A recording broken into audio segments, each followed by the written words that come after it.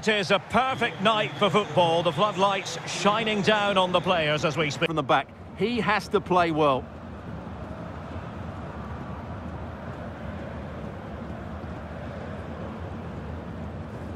Side centre halves to break into midfield. On paper, it looks a good team to me.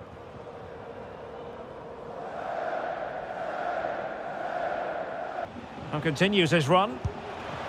Oh, did so well to deny him.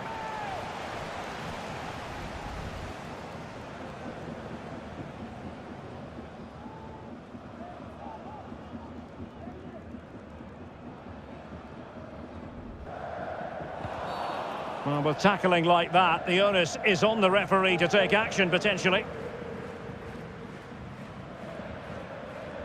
Well, it was apparently a bookable offence. Well, no debate over that one. It's a yellow card all day long.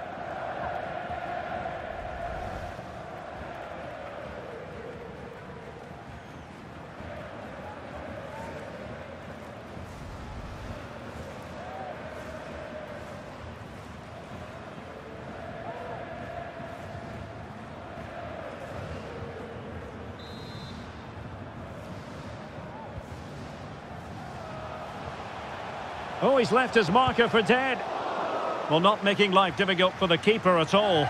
A wide attempt.